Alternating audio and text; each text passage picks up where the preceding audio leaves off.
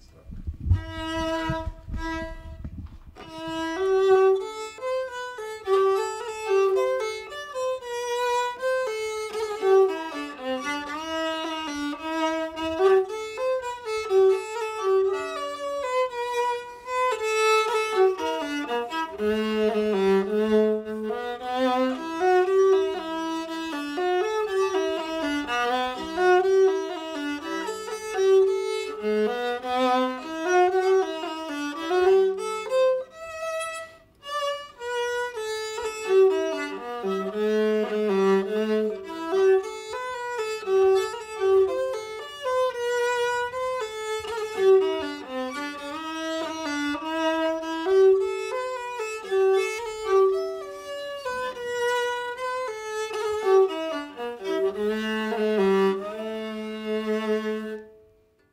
Since I'm working as a mechanical engineer for BigRep, I have the printers next to me.